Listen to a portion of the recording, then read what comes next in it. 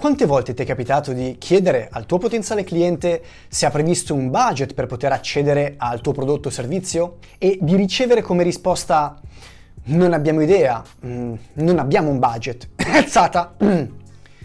Facci tu una proposta. E preso dall'eccitazione e dal tuo senso del dovere, torni in ufficio o in auto e prepari quanto richiesto. Questo lavoro può richiedere molto tempo e quando finalmente hai terminato e invii la tua proposta o comunque gliela porti di persona successivamente, ti aspetti un feedback positivo, che spesso però non arriva. Perché, secondo te, accade questo? Perché è cattivo il prospect? Direi di no, piuttosto perché non l'hai qualificato bene.